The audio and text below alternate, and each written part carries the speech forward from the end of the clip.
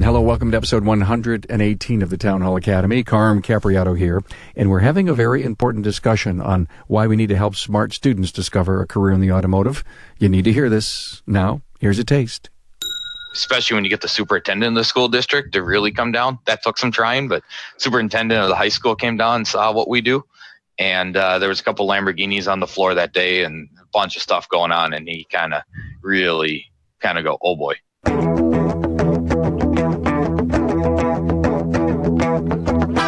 Welcome, automotive aftermarketers, to a Remarkable Results Radio Town Hall Academy. Listen to learn just one thing from today's episode on your journey to remarkable results.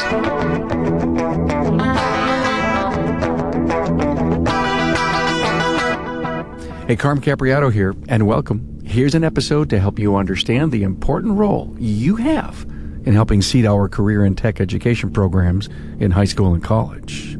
Hey, while listening, and when you're done, I suggest you create a plan of your very own to do your part in recruiting. However, and more importantly, you need to create a career path for your new hires. Hey, I want to thank Jasper Engines for their support of the Town Hall Academy. Now, you know at Jasper Engines and Transmissions, quality and customer service is their number one goal. Now, Jasper is an associate owned company, and that says a lot. Their associates take pride in their work and it shows in the quality drivetrain products they produce. Their commitment to quality and customer service has kept Jasper growing for 76 years. Find out more. JasperEngines.com.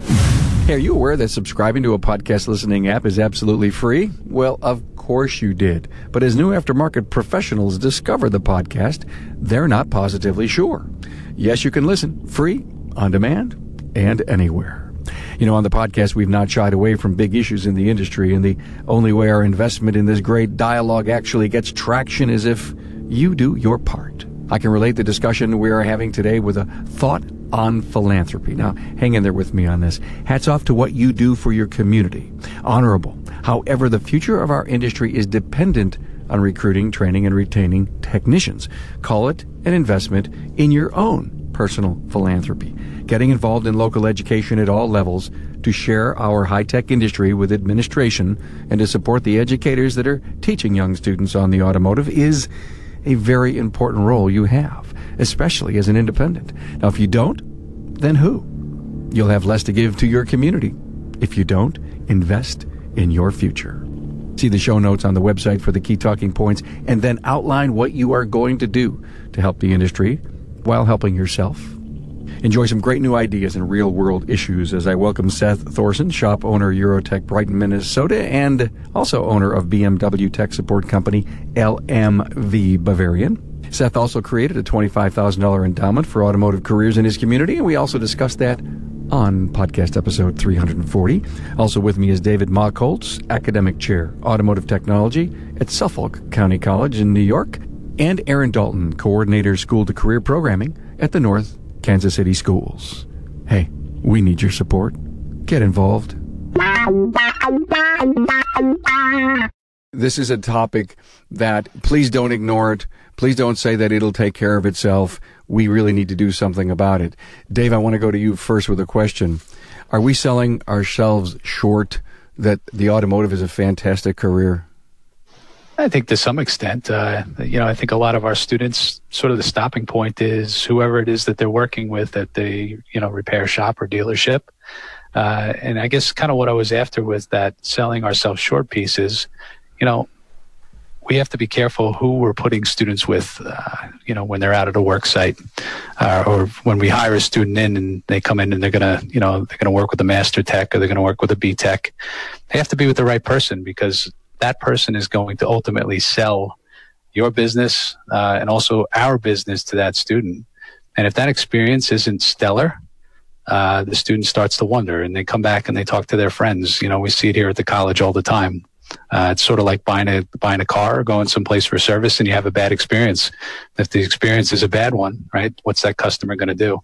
They're going to go and they're going to tell everybody they know and you know usually the bad thing more so than the good thing right uh, so we have to be careful i think as an industry of making sure that when we're bringing students in uh, and getting you know new people uh, you know into our businesses that we're not selling ourselves short that are ultimately our culture is right within our business Uh, and you know, from my perspective, making sure that students are in the right fit, you know, at a work site.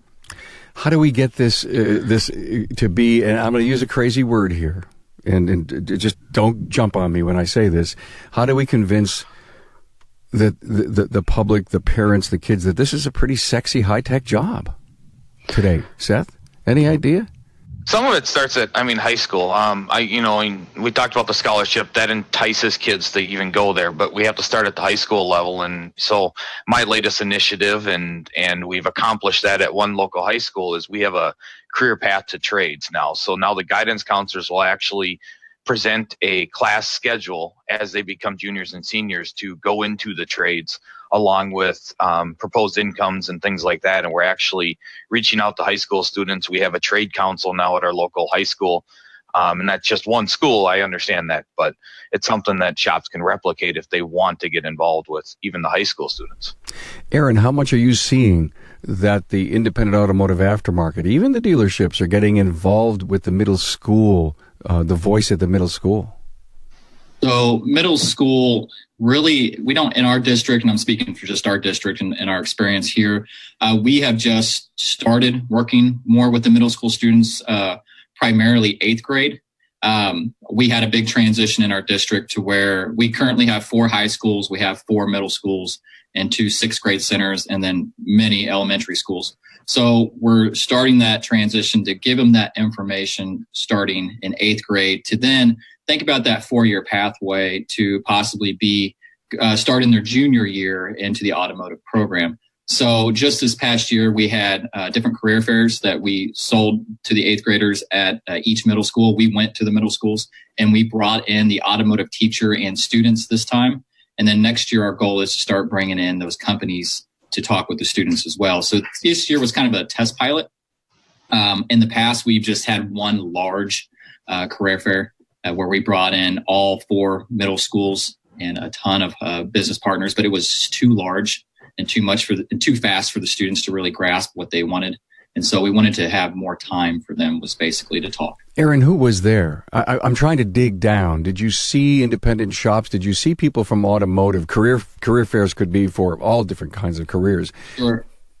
Uh, we we saw um, some more larger companies. We did have some of our smaller companies come in, our business partners that are primarily with our automotive teacher, because that's how we usually go to is we go to our automotive teacher and ask, okay, who do you want to be there? Who do you want to help support? Because those that are supported the program, we want to have them come in and talk with students too. Um, but our uh, business partners are growing every year. We're getting more and more uh, involved because they see the relevance of the high school students starting this pathway, which then leads into the college, our local community college automotive programs or four-year institute. So eh, it's it's definitely changing and it's growing, not as fast as we would like, but it is changing. Do you see the investment, David, at Suffolk staying up to speed so that you know you've got you're you're teaching the right stuff with the right equipment? you know, it's always a challenge to get funding. I mean, our our success at Suffolk, at Suffolk is really hinged on uh, manufacturer partnerships. Uh, we're up now to seven direct manufacturer partnerships at Suffolk. Uh, so you know, granted, that's a bit more dealer based. However, those those programs also uh, attract students that you know say, you know what, I think I might rather work in an independent repair facility. Uh, so our resources have been pretty abundant in that regard. Also, things like grants, um, you know, different funding streams, creative funding streams in many instances uh, it's definitely a challenge, but uh, you know, there's there's a lot of uh, willing and able partners out there that are willing to come in and work with with the right programs. They're they're doing the right things, and ultimately that's tied to outcomes. You know, you're not going to get uh, you know support from manufacturers or you know tool companies or whatnot if the structure and the integrity and the quality of your program isn't there so for us quality has been paramount you know more so than quantity in terms of students coming out it's it's really been a quality game for us. And and really that's that's the key in engaging you know all your partners is to make sure that at the back end the student that's coming out is is selling your program for you. Make no mistake uh, I'm a I broadcast to the independent uh, automotive aftermarket, um, and you had said that you've got some manufacturer programs out there. Of course, that that connotates the dealer network for me, and, and, and even at Erie Community College here, I'm part of the State University of New York system, and I'm on the advisory panel, and there's 85 uh, percent you know, manufacturer based on the advisory panel. You had said something just a few minutes ago that says it ain't bad to come out and work for an independent. What did you mean by that, and how could you t- stitch that together for me? What are they saying? Why would they want to go to an independent? Well, I got to go to dealer. Big brand name is going to be great, maybe long career, lots of benefits, and we're finding that there's a fifty percent churn. Sure. I think a lot of uh, you know students that come out of programs that wind up in dealerships initially, uh, it depends. It's highly dependent on the location, but in many instances they wind up and they wind up working in the maintenance area, right? So they're doing oil changes. So they get disenchanted pretty quickly if they stay in that area for too long. So the benefit and allure to an independent shop, you know, a, a shop like Seth's, I haven't personally been there, but I hear wonderful things.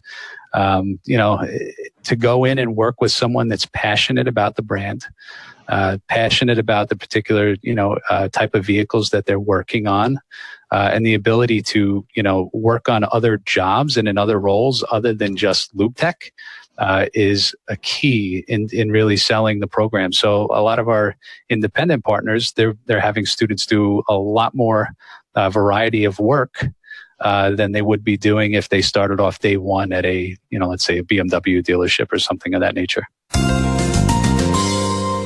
A vehicle is more than just transportation. It's what we depend on to move our most precious cargo, our families. As a service professional, you provide routine maintenance for your customer's vehicle, but what do you do if the engine, transmission, or differential fails? Contact Jasper, of course. Jasper provides your customers with a cost-effective alternative to purchasing a different vehicle. Quality remanufactured products from Jasper engines and transmissions carry a nationwide warranty with up to three years, 100,000 miles parts and labor coverage. Get your customers back on the road fast as Jasper offers immediate availability through two distribution centers and a network of 45 branch locations nationwide. If a new vehicle is not in your customer's budget, and the engine or transmission in their car, truck, van, or SUV has given its last performance, a remanufactured drivetrain component from Jasper Engines and Transmissions will provide them with many years of trouble-free driving at a cost many times less than that of a new vehicle. For customer satisfaction, choose Jasper.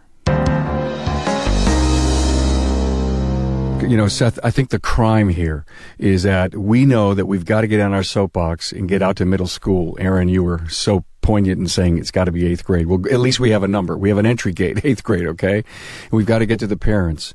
We also need to get to the counselors. We need to get to the to the superintendents and the principals. And let's please talk about that because something very interesting came up yesterday on that panel that I'd love to ask you guys. But but Seth, being involved, uh, and you know, here it is we're we're going to go out and say the message. High tech 100 million lines of code really a great business to be in if you want to be in high tech the computer on wheels.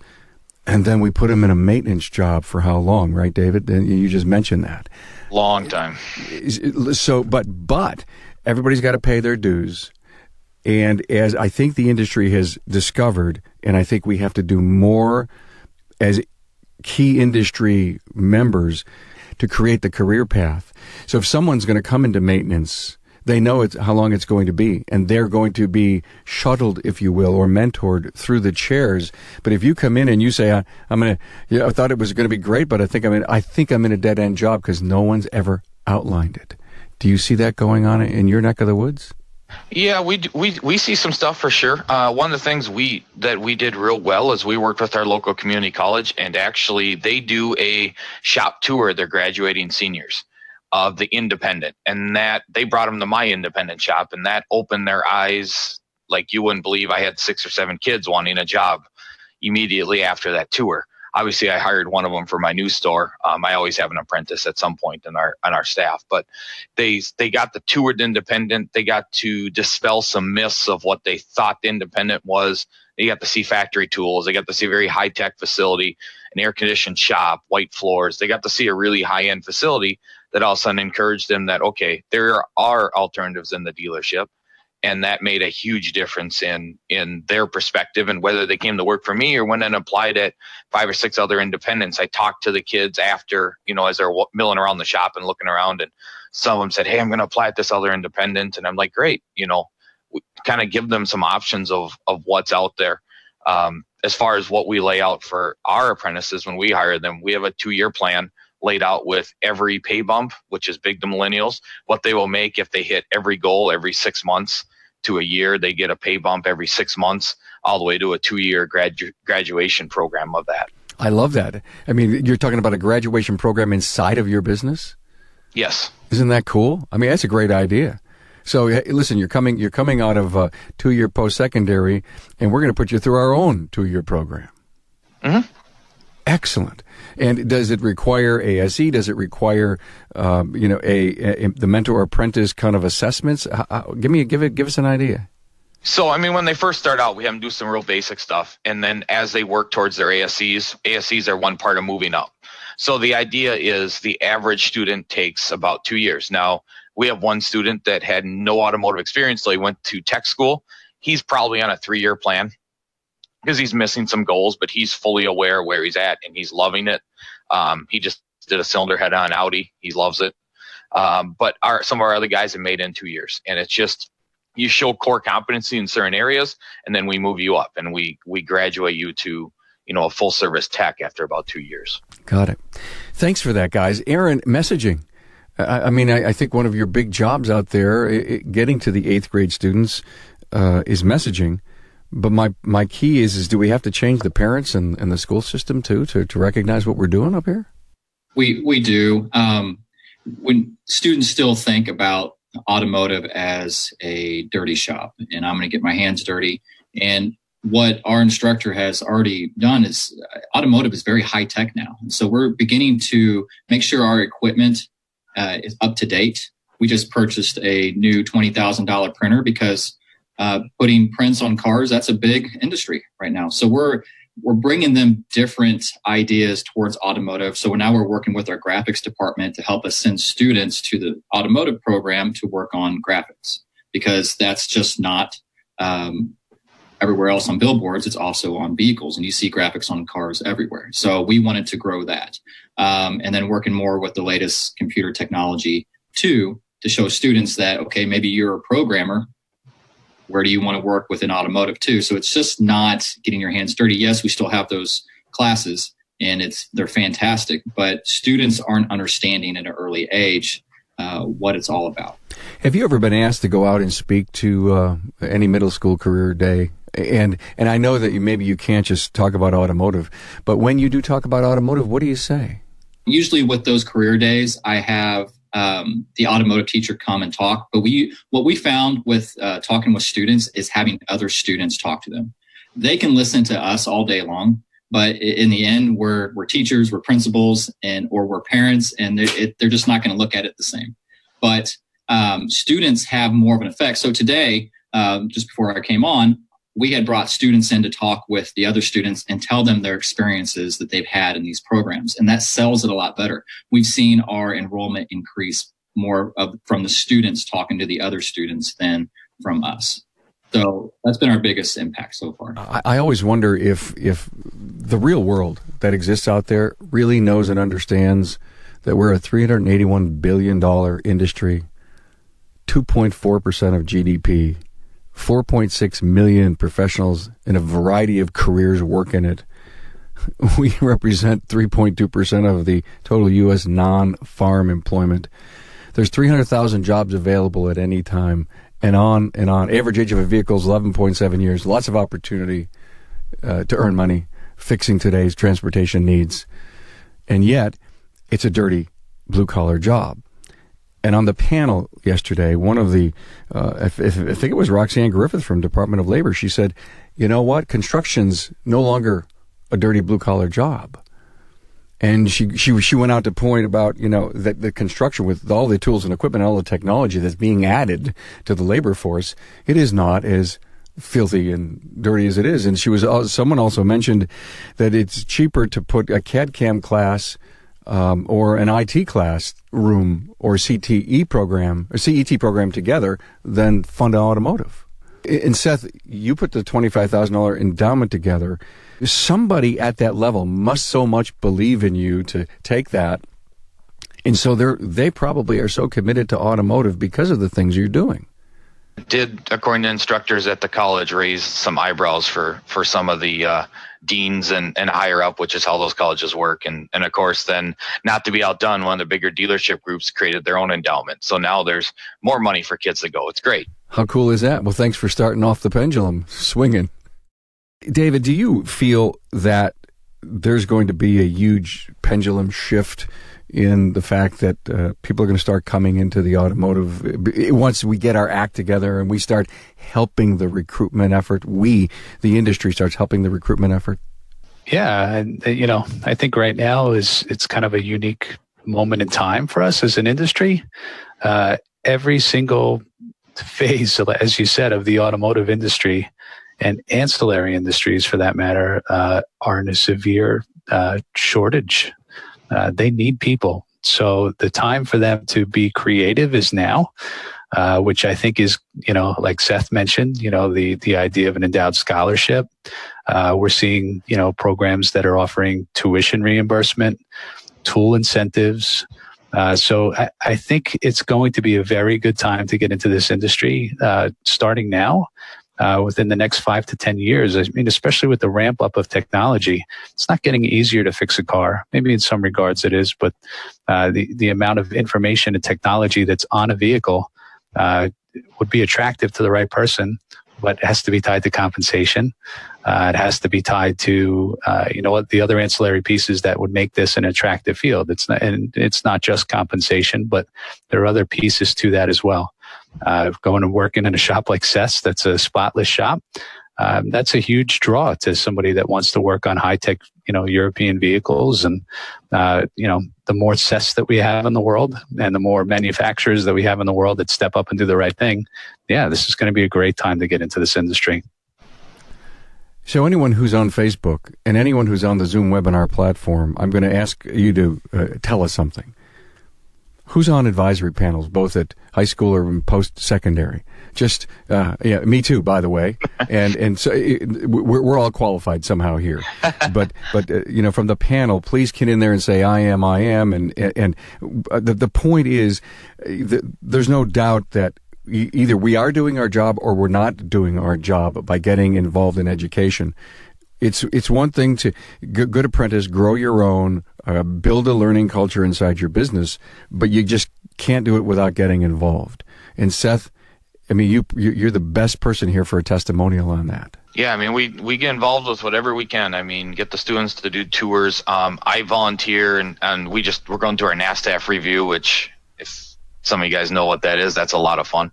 Um, with the local college, we try to you know, we get them out. We do we do mock interviews with a lot of the students. I volunteer to get in and do mock interviews with the students because they have no idea what's going to happen when they go out to interview, and that's always been a good thing. And frankly, I found some really good kids just doing the mock interviews, but it's always been really helpful to the students and, and instructors like it. Um, there's just so many needs they have. Um, there's times that we upgrade equipment, and our equipment for me at least when we upgrade equipment we still have great equipment. A lot of times the colleges need that equipment. Um, i have customers that get rid of very high tech vehicles for an expensive problem and there's times i can get my customers to donate the vehicle to the high school or to the college and, and they have a vehicle they can use for training. There's just so many ways you can do very little things without even outlaying much money. So uh, one of the things that came up in yesterday's discussion, and it was so apropos, and I don't, I don't mean to, to pull on what we did yesterday, but I just have to because it's fresh on top of my mind. And uh, and one of the things that I actually got up during the panel and I put in my three cents and I said, you got to follow the where the you got to follow, follow the money. And here's what I mean by that. A couple of discoveries that I had, and actually the Department of Labor even confirmed it, is that some of the counselors they've got requirements and incentives to make sure that they're 100% college bound with their group of kids. I we also were told by the Department of Labor that the Department of Defense has incentives to help recruit for the Army, Navy, Coast Guard, and Marines. Interesting, right? Very interesting. And and there's still that stig, stigma that's going on inside. Well, um, send Johnny to the you know to Votech, and and some of the kids that are being asked to go to college want to go to Votech. How do we stop? How do we stop that at the educator level? Aaron, you would maybe be the best person here. Actually, you and David. Uh, how do we get that message out? We can join. We can join the advisory panels, but we have to get in deeper. School boards, print. Do we? Do we? Do we literally? You know, we're, we're the premier shop in the neighborhood. We know it. We feel it. We are should we be going to sit down with a with a counselor, a principal, or a superintendent? Um, I'll go ahead and talk on that. We have seen um, that's been our biggest hiccup with our system and how we're enrolling students is we give so many options for students to take different classes throughout our high schools that it's kind of overwhelming. And so our counselors are spread many different directions. They're supposed to tell students to go this route or this route or take this class go talk with this person, visit this school. Uh, and it's so much that they get overwhelmed with um, meeting those requirements of students needing to be in these programs or helping us out. And so we're trying to find easier and better ways using social media, for example, or um, things like this, doing podcasts to inform the parents and students so that we can reach them outside of just our counselors and principals because they are so used to having things handed to them hey, take this class or do this, or other teachers recruiting for their program or their after school activities that it just gets so much. So we're trying to find more creative ways to reach students that we can, if we can get to them often and they can hear that message often, hopefully our numbers will recruit, increase. Now we just started that this year, so we, we don't have the data to back that up yet to see if it's working. But from our uh, just talking with students, parents, uh, they're hearing it. And so we know something's getting out there, but we haven't seen the increase in enrollment yet. David, your perspective on that? Yeah, I, I think one thing that's worked really well for us is actually bringing the counselors here. Uh, you know, we I go out and do plenty of talks, you know, at different schools, and counselors are there and they hear it. But seeing is believing. I think. Uh, you know, for example, uh, recently we had a car set up to do uh, some some ADAS training, and uh, targets were set up in the room, and a couple of counselors came through and they said, what are you guys doing? So when they saw the, the complexity and technicality of, of just one aspect of the, the jobs that, you know, we're training technicians to do, uh, it's, you know, that's a huge takeaway for them. So they go back and they go, all right, this is not what we thought it was, which is what you want them to think it is. I, think the, the challenge also is when they go, all right, well, what's the rate of pay for a, for a student that's, uh, you know, out in a dealership or, uh, you know, and and that always becomes the complicated question because rate, rates of pay are all over the place. Uh, so that I think you know, bring them in, show them what it is, and then the challenge is on the back end, making sure that uh, you know independent repair shops, franchise stores, dealerships, like Seth, uh, like go to a model like that, you know, where you have a, a scaled pay plan you have incentive based pay, you have uh, milestones for for these uh, you know apprentice technicians to hit, and and that they're being mentored. You know, it doesn't all again come down to compensation, but students want to see a pathway from point A to point B, uh, and if if you know counselors see that that's in place, they they're going to have a lot better feeling about going, hey, Johnny, go into the automotive industry because if you do X, Y, and Z, it's going to equate to this in terms of what your salary is going to be. We yeah we we brought some of the high school um, principals and guidance counselors, and we've actually um, got some of them to tour our shop, and that kind of opens their eyes when they see the work that these guys and gals and kids and adults are doing. Especially when you get the superintendent of the school district to really come down. That took some trying, but superintendent of the high school came down and saw what we do, and uh, there was a couple Lamborghinis on the floor that day and a bunch of stuff going on, and he kind of really kind of go, oh boy, that's awesome. Yeah, so it's, seeing is believing for sure. What what a great thing. I mean, it's just it's you know. You, you brought up something huge, David, and that is, you know, so so what can they earn? So I'm going to ask you that question live, right? I, I, you're, you're, giving me the tour. You're showing them all this high tech stuff, all the targets, all the ADAS calibration going on. So what can they earn? How would you answer that? Well, that that's a, it's a loaded question, really, right? Because uh, you, you think of it, and you know, I can think of some examples of students that um, you know, we've tried to recruit, believe it or not, to come back and uh, say, hey, you know, you might want to think about, you know, putting your, your hat into the ring for a teaching position somewhere down the road. And they say, wow, you know, I really, I can't take the pay cut to come back and teach. And, um, you go, okay, so clearly this person must be doing pretty well. And you get into some of what the salaries are and they're, they're substantial. You know, some of them are, you know, in our in our market, we're in the New York market, so we have a high cost of living. Pay pay wages tend to be a little bit higher uh, than the national average, but we have quite a few technicians that are out there making a six figure salary. Um, however, norm is, and this is the challenge, when a student starts as an apprentice, I would say that the average right now for us on Long Island is is around minimum wage or better.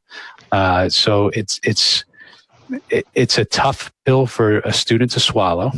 Uh, to say, all right, well, I'm going to make the same amount of money as it as I would make at Aldi's grocery store down the road uh, to work on a hundred thousand dollar car, uh, to buy my own tools, and to not have an end in sight for getting out of that pay range you know, especially if they're on a loop rack, you know, uh, or, or, you know, not in a situation, you know, such as Seth presented where, you know, they're working with a mentor and there's incentive based pay. So that's the challenge is the range, right?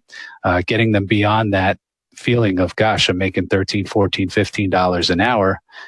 How do I support myself? How do I support, you know, living on my own, having a family, buying a house.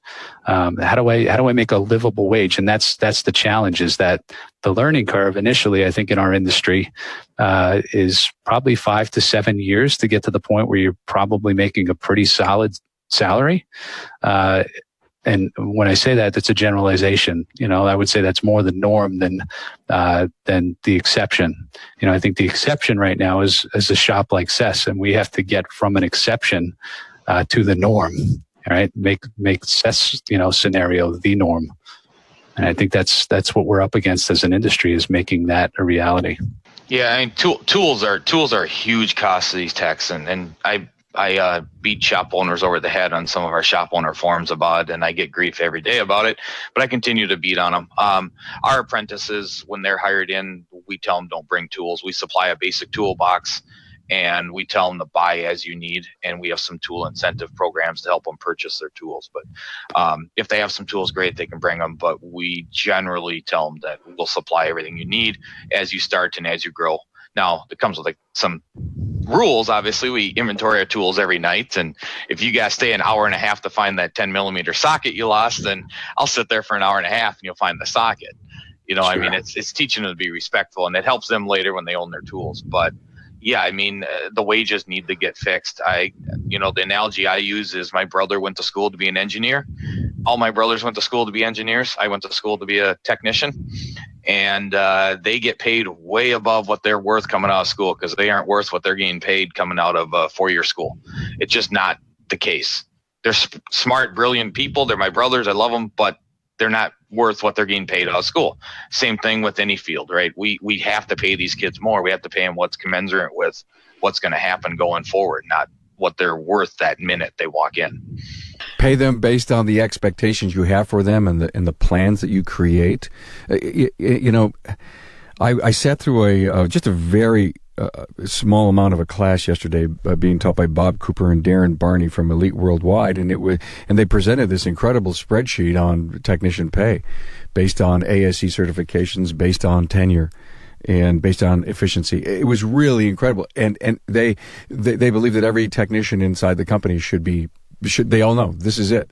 And, and the better you are, and the, the longer you've been out of school, and if you've gone to school, there's there's the pay program and look at look at what and, and the and the top end was huge, and the bottom end wasn't no minimum wage. It was a, it was a respectable place to start. And and as soon as you started to be more efficient, and as soon as you started to get your ASEs, your pay went up.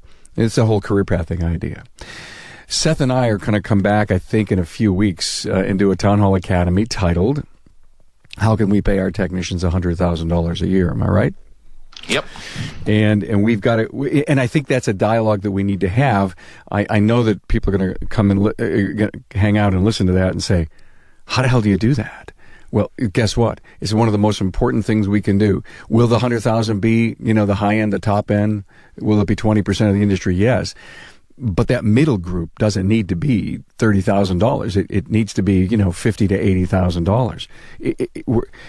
I think the opportunity in our industry is so big, but our leadership team, our owners, need to step to the plate and re-engineer themselves and their businesses, and and, and many have, but not enough have because David, Aaron, you're probably fighting that um, that stereotypical, you know, it's, well, it's just a grease monkey job. It's a blue collar, ugly thing, and they don't make a lot of money. And you try to tell them what the exception is, but we've got to figure out what the rule is. And we need to help you by running better businesses and coming up with some really great career pathing and pay programs. And I'm off my soapbox. and I and I'm off it. I'm off it. So how do we go out and get the messaging right, guys, that we're a high tech, we're in a high tech business? What can we talk about? What can we show? Yeah, you can do the shop tours and everything, but when we're asked to go out, what do we need to bring with us to show people what we're doing? A presentation, a video, equipment, tools? What do we got to do? I think for uh, high school and middle school, they, they want to touch things. They want to see things. They want to maybe have some type of project that they can put together. Um, they're hands on because the students that want to be in these programs are hands on students. So that's going to be something to attract them with. Um, in our districts too, we're also working on those non-traditional students to be in the program. So in, increasing uh, that. So finding ways to make it um, acceptance for everybody in different ways so they can be attracted to the automotive programs and, and all the programs we promote. Uh, we're also looking, not along with your question, we're trying, we don't have direct feeder classes from our middle schools for our ninth grade, our sophomore year. Our programs start junior year, so we have nothing for them besides just talking with them. So we need classes as well to feed into those automotive programs so students can stay with it early and continue on. I think that would increase our numbers and have the students more involved with it too. If you had five or six independent shop owners at your beck and call wanting to work with you, you know, just on call whenever you need them, your go-to how, how, are you going to find them? How do we find them? Well, uh, what I previously said before is we have our instructor, our automotive instructor. He's fantastic. His he's involved with our community college too. He teaches there, and so he's able to tap into the resources of the community college as well as our local areas. I mean, we have uh, around our schools, we have many uh, companies. A lot of those are large companies. To tell you the truth, um, I, I, think we do need to increase our, our individual shops, like you were mentioning to uh, be within the schools, but we would we're always accepting uh, more people. If they could be there, we'll take them. We'll fit them in. I, I have to tell you something. I think our independent group and Seth confirm or deny this. We're missing such an opportunity. Uh, the kids are being siphoned off into into in the dealerships. Listen, I got a lot of friends in the de- you know I, everybody's on my panel. You know, like I said, eighty percent of them are dealership guys. They're great guys. They're hard working. They care about our industry, but I think they're making a few missteps. And but but we're finding out that the uh, that the groups that's uh, that's if you will fading out after a couple of years are not joining the independents and they're going to other careers. You know, they've got a toolbox, they've got some basic mechanical skills. You know, two years in, it's it's Department of Transportation's, it's it's diesel, it's forklift, it's it's boating. They're they're going. They want to work with their hands. A lot of the a lot of the programs are better there. And, and I guess my plea here continues to be, and it's been a theme of the show for so many guys, even like Seth that have come on, get involved you, you've got to be involved. So if you're involved at the community college and they're finding out that someone may be leaving, you know, we've got to, someone's got to put their hand up and said, send everyone who got disenfranchised to me. And I, I think some of it, some of it is I don't, the independents need to get involved. Some of it is I don't, they know how. So some of it falls on, and I'll plead plead to Dave and Aaron that call some of the bigger independents that are nicer. Go visit them. Go talk to them tell them, hey, this is how you can get involved. Can we come to a shop tour? They some of these guys are really busy at some of these independent shops and they don't know what to do. It's not that they don't, but you know, I know they should reach out, but sometimes you guys should reach out to them and say, hey, what can we do? Because too many guys end up at the dealer. They do churn out. They don't come to us. Um, and a, a lot of the programs are heavily sending guys to the dealer, and, and that's because the dealer does a much better job of recruiting through the colleges they show up at every event. They're on every trade board sheet. They they're there and they're recruiting and they do a better job of it. So consequently that's where the students end up. That's where the students come back and talk to. That's what the instructors push students to. Um, it, it is a hard transition to get these guys to look outside of that. Um, and that's been a struggle for a while. Um, but I think sometimes the colleges need to reach out to the other shop owners, and I know that takes some work on your part too. Yeah, I'll, I'll, just weigh in on that a little bit too. Yeah, I, occasionally I think we're all too much in our own silos. Uh, you know, we get tied up in a day to day of what we have to do, and a, a lot of times I, I, just have to jump in the car and I, I have to go and stop in and see different shops, and and uh, I think the challenge in our market is in the New York metropolitan area there are over three thousand registered repair shops. My program has 207 students. So the cha- the challenge for me is okay. How do I how do I keep the phones quiet uh, with the amount of shops that call on a daily basis? And, I, I I say that kind of facetiously because we we need you know the need for our students to go out and work, but at the same time the the demand is so great. I could quadruple our program and still not make a dent. Uh, so that I think is a part of the challenge with the colleges too. Is that uh, you know, in terms of especially community colleges where lightly staffed, you know, we're, uh, you know, not human resource rich.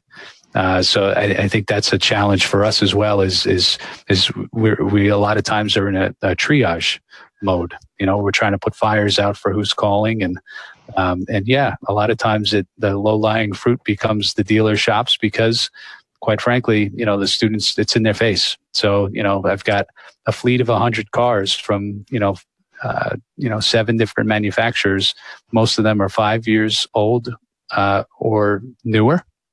Uh, so I'm getting 2019 vehicles already. So the students are seeing those cars. They go, "Wow, I think I might like to go work for Chevy." Uh, so, so yeah, the, the, the struggle, you know, for the independent shops is real. Uh, we can do a better job, clearly, as a college. Um, but uh, you know, collectively, I think you know, as an industry, we you know, we just need to be involved and and do as much as we can. And uh, I think the challenge for everyone is time. Right, time is our you know most valuable resource. Uh, but you know, channeling our time and using our time as best we can. Uh, I've always had a passion for the aftermarket. I grew up in independent repair shops, and I, I love to see students get into the right shop as well. So yeah, it's just a matter of collectively staying out of our silos and, and being involved and, and person like me visiting your business, but you visiting the community college as well. It's a two way street. Oh, I agree. Yeah, sometimes even if you set up a tour of a high end independent, if you find one high end independent and tell them there are shops like this out there, that sometimes is just all it takes to give them a little opening. Yeah, yeah, we've had some fantastic independent shops we work with, and uh, you know, continue to work with. We do a career fair every year, so you know, typically uh, that's another way for us to have a single point of saying, hey, you know, we're open to everyone. You know, it's not just dealerships. It's not just chain stores. It's not just independents. We want to show students, you know, the the large array of opportunities that are available to them. Uh, in, in, in a sense, it's a bit of a challenge uh, because now you, you, you really open the door to, okay, this skill set is transferable, right? As Carm mentioned, you know, forklifts. You know, we had Crown forklifts here uh, visiting uh, a couple weeks back, and uh, twenty one fifty an hour is the starting uh, wage for a forklift mechanic uh, for Crown here on Long Island. So you walk out of trade school and into a 2150 an hour job that is not flat rate, that pays uh, time and a half if you go over 40 hours, double time on the on like a Sunday, for example, or on call. So that's you know that's the the other parts of the equation is, you know, the the students that we're training have a very highly transferable skill set. So we constantly have to be in the mode of, you know, as the automotive industry of encouraging, and this is part of my role is encouraging our partners to be uh, aware of that and also to be really uh, cognizant of the fact that, you know, their competition is not necessarily the shop down the street or the dealership down the street. Their competition is broad.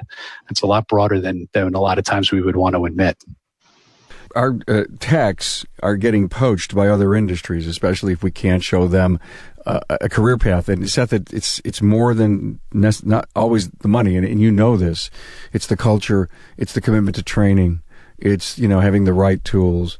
It's uh, it's time off. It's recognition it's all of that. And, and, to me, that's such a big, big part of the change that's necessary in our industry. The top performers, they get it. but it's the it's the ones in the middle that that we really need them to step to the plate and help because uh, again I I always think that you know is it going to be another 10 or 20 years where if you're not at that level you're you're going to be out uh, I don't know I, I just can't quite confirm it what do you think of that well, the industry needs to take care of themselves too. I'm going to go back to Dave's one of Dave's opening comments about pairing the technician with the wrong mentor. Um, we have an opening in one of our companies, and we interviewed a guy, and we talked about one of our core beliefs and core competency and core culture beliefs is we are a training facility. We believe in training techs. And the the one guy we're interviewing said, "Well, as long as he doesn't get in my way." Well, there you go, strike three, you're out you're not getting the job. He, he's a very talented tech. Don't get me wrong. He could do real well in my company, but he's not going to fit into the culture. And he firmly said, "Get it. If that tech gets in my way, I don't want him there." Well, then you don't fit our company. Um, and so eventually, as an industry, if we want to push forward with what we need with true apprenticeships and things like that, then you know we have to look at who do we want in this industry still, and what do we have to do to push some of those people out or make them change their beliefs a, a, final comment, and, and maybe Aaron and, and David, you could uh, support this or or just tell me I'm crazy. But one of the things that I recently f- discovered is that we have a, we have a program here in New York called BOCES, Board of Cooperative um, Extension, and everybody gets together.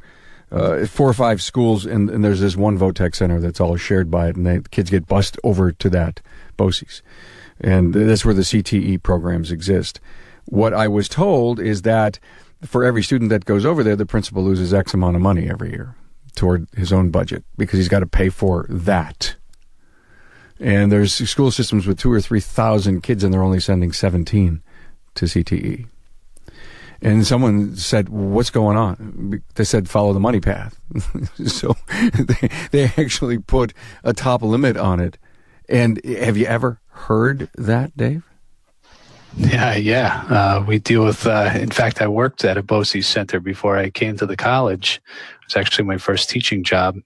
Uh, I think the challenge there is they have a business model, right? Uh, in order for them to survive, there has to be a cost to send students there. Uh, what we've seen on Long Island, uh, Long Island is a unique place because you have to take a bridge or a plane or a boat to get here. Uh, and we sort of have a captive audience, but we, we also have 200 plus districts in just Nassau and Suffolk County. Uh, so with all those different districts, a lot of the districts are now starting to create their own automotive programs, their own mechatronics programs, their own STEM programs, uh, and they're they're doing a lot of the vocational pieces that BOCES was offering and has been providing for years in house. Uh, so my my challenge is that I go out and visit a lot of these uh, school districts and kind of help them to establish their programs. And what I found is that a lot of these programs are uh, putting new life back into automotive. Uh, so that's that's one of the interesting things that you're seeing is that a shift away from the vocational uh, schools here in, in New York back to the individual districts. But yeah, and and that's and it's really uh, it, it really is a great piece because they can all of a sudden, um, you know, have a whole nother pipeline for technicians. I just went out recently to Long Beach High School uh, in Nassau County, which is uh, in a pretty prominent area in Nassau County down by the water and uh, beachfront properties in many instances. But there was 85 students in this automotive program that is just you would never even know it existed unless you went looking for it. And you probably uh, looked at them as potential recruits, right? Absolutely. Wow. Uh, you know, so the, establishing pipelines of students from high schools to community college to shops like Seth's that ultimately are going to take care of them is is the model we need to build wow. and replicate. I, I'm so glad I asked you that question because you just opened my eyes to that, and I didn't know that was going down uh, there on Long Island. 200 and some districts. We talk about duplication of overhead. Uh, you know, uh, it's just it, it, that's what drives me nuts. I just can't believe that they can't do some consolidation. Yeah, that's why our taxes are ridiculous here, but I didn't say that out loud. No, you did not. You, uh, I didn't hear you. Your governor did not hear you. Hey, I want to thank Anthony Williams for hanging out with us. Uh, he's he's here on the um, on the Zoom platform. You got to go back to episode 418 and listen to me, Anthony, and Chris Chesney. We were. Um, Wow, you know, Anthony is in charge of this new, you know, charter automotive school, AIST, out in Colorado and it is a vision of his, and they are working hard and funding and building and curriculums and totally uh, exciting program. So thank you for being here, Anthony. I, I appreciate you know your contributions to the show. Now, I, have been kind of listening and, and, doing some writing at the same time and trying to pull the essence of the uh, talking points here today. Let me give you my summary before I ask you all for a final comment. Tours, student tours of your shop. Speak to career days. Don't miss one. You, you know, if, if you're going to make any kind of phone call, make it to the school and says, "Hey, when's your career day?" Be it middle school, be it high school. Bring the guidance counselors and the principals to tour your shop. Show career paths to parents. My thought on that was if, trust me, you have parents that are your customers. They have middle schoolers. Are you talking to them? Hey, you know, Bobby's with you. You know, does he show? Uh, what's he going to do? What, do you got planned? What do you have plans? Parents, bring your kid's career. Did you know? Bring him down to the shop one day. Love to show him this high tech automotive world and um, and have career paths inside your shop. The worst thing that you would possibly have is to bring someone in and says, "You don't want to, you know, you don't want to work in the automotive business," you know, and we hear that all, sometimes all too often.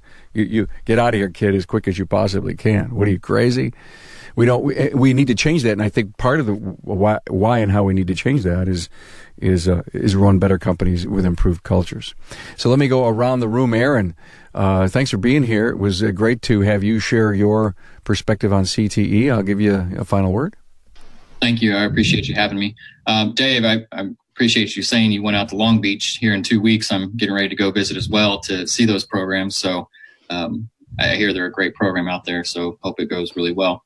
Um, but yeah, just like you said, as much as our local companies and community colleges can get into our school districts to help the students and help the teachers and to you know find that pathway that desire to show them that it's not you know dirty and not so safe there because a lot of parents think that the shop's not safe. And so we we teach them a lot too with safety and we teach them a lot of all the new high-tech equipment.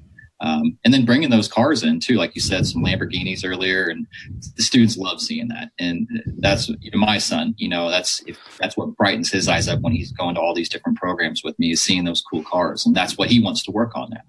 And so that's if you can bring those things in, give them the things they can touch, and let them play with it, I think that's going to really help increase our enrollment overall. Yeah, you know, he just brought up a great point, Seth. I mean, you had a Lamborghini in there because you were working on it, right? We were working on it. I, I do have some we bring up to the schools. I mean, we okay. I brought them to the high school. I brought them to the college. I mean, you know, I we we we get some of those cool cars in the students' hands for cool. them to All right. Well, that's that's that's ingenious. So you better go out and find some friends that have Lamborghinis who will let you drive it for a day. Seth, I'll give you the last word, or no, I'll give you your final word. I'm sorry. No, I mean it's it's a great panel. I mean it, they're doing some good things with the schools, and happy to see more people getting involved from the colleges and on your show. Hey, thanks so much for your all your support, and uh, we got a really hot topic coming up in a few weeks. Thank you for that, Dave. You actually have the last word now. All right. Well, thank you for having me again. It's been a pleasure to be here and uh, on this esteemed panel and uh, on your show. Um, we have a lot of work to do, and it's it's a daily, you know, it's a daily grind. But at the same time, you know, the more of uh, we have out there, and the more folks like you spreading the word, and uh, you know, folks like us in the community colleges and the high schools, uh, the more we can collectively work together towards this same goal continue to tell this story, uh, you know, will make a difference. Thanks. And, and do me a favor, everyone who's listening. Don't let this go in one ear and out the other. Find a way to, to really make a change in, in how you uh, speak to and for our industry. Uh, make the phone call. You know, you said, ah, you, Dave should reach out.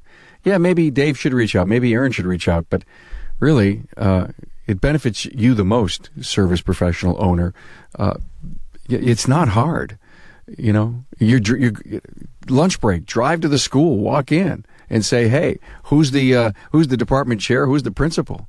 And even if they can't see you at that moment, get the get the business card. Do something about it. If we start a grassroots effort, because we're going to fix our problems, the pendulum is going to swing and and we just got to have the right messaging. But we got to fix it. We got to fix any problems that we have inside too. Hey, thank you so much, um, Seth Thorson in Atlanta out there for training. Thank you so much for catching an early flight so you could be on here today from Eurotech in Brighton, Minnesota. and Seth created a twenty-five thousand dollar endowment for automotive careers in, in his old good old hometown. We talked about that in episode three forty. Dave Macholz, academic chair of Suffolk Community College, State University of New York, automotive technology. Thanks so much. And Aaron Dalton, North Kansas City Schools, the coordinator of school to career programming. Thank you guys for being here. Have a great weekend. Thanks for being on board to listen and learn from the premier automotive aftermarket podcast. Until next time.